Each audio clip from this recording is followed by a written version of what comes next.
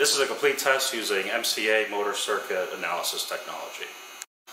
My name is Eric from All Test Pro and today we're going to go over the AT7 Quick Reference Guide. 7 Pro instrument, see we have three ports for our three lead cables, a ground cable. So we're going to select our smaller set of leads for this motor. This is a 30 horsepower 9 lead motor connected in a Y configuration for high voltage. We're going to put in black in lead 1, blue in lead 2, red in lead 3, and our yellow is going to go in our ground. So the first test we're going to do is the IND test. So we're going to select OK. That's going to give us some instructions. It says connect blue clip to phase 2 and yellow to frame ground. So we're going to go on to phase 2. We're going to clip our ground to make sure we have a good connection. So we're going to hit OK.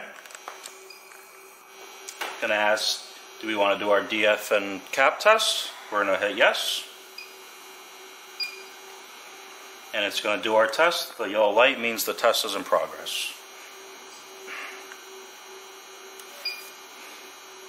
So we got our DF and capacitance values, and then we're going to hit OK to continue.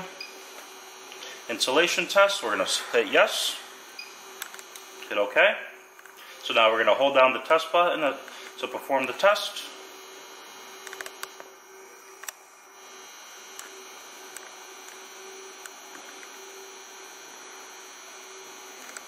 So over 1 gigaohm, so we're going to hit OK. Now it's going to ask us, please connect remaining black to phase 1 and red to phase 3. So black to 1, red to 3. So now we're going to hit OK to continue. Now it's going to start our static test. We're going to be testing lead 3 to 2 and say please wait as the test is being performed.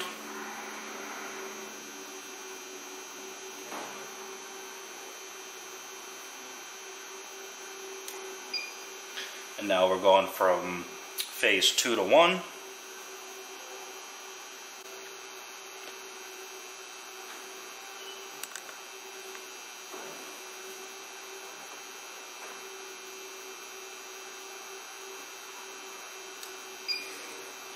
And now phase 1 to 3.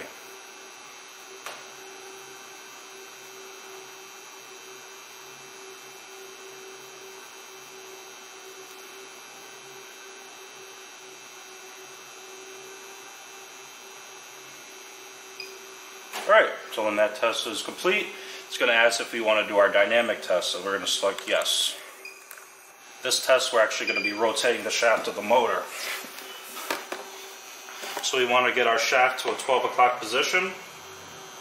And then we're going to hit OK. And start rotating the shaft uh, nice and smooth, nice and slow. You want about four beeps per revolution. So one, two, three, four. One, two, three, four.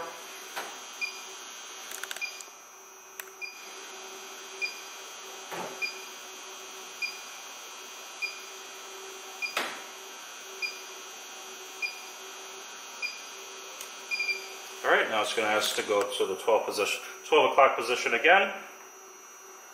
We're going to select OK. Test lead 2 to 1. So 1, 2, 3, 4. 1, 2, 3, 4. 1, 2, 3, 4.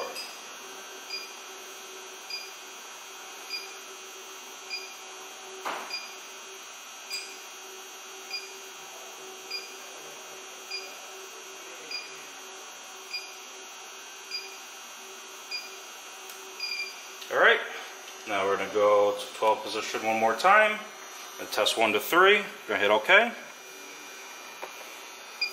One, two, three, four. One, two, three, four. One, two, three, four.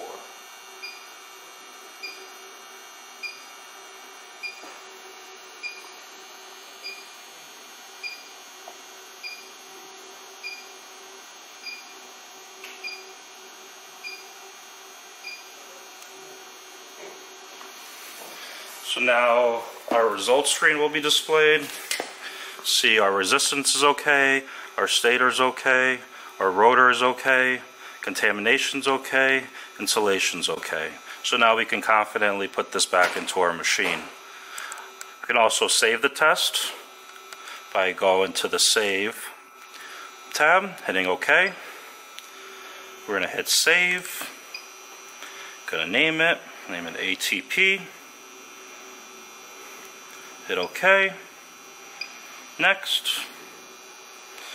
And the report is saved. We can actually look at this on the computer via uh, a USB cable, which is on top of the instrument as well, using our MC, MCA program. And that is a complete motor test.